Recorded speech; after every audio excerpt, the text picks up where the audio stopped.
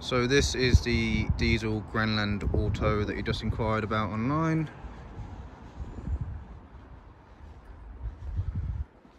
This car comes fully loaded, got nice diamond cut alloys there, Apple CarPlay, Android Auto, Bluetooth. You've got heated seats, ventilated seats, heated steering wheel,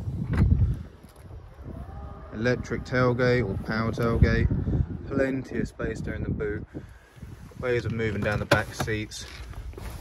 From the back,